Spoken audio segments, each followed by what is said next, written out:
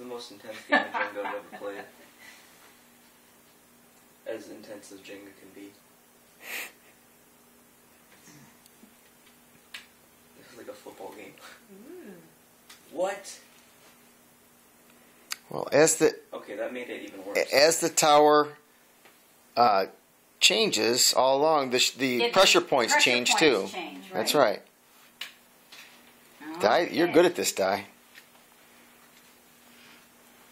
So something that was jammed in there pretty good a minute ago. It just it Mhm. shifts it a tiny bit. hmm The only ones that are the the trickiest are the uh, the top ones because they're so they're Mhm. like Swiss cheese. Mhm. That's right, the dangerous part is when you're pulling it out like that. Yeah. Okay, Mikey, it's your turn.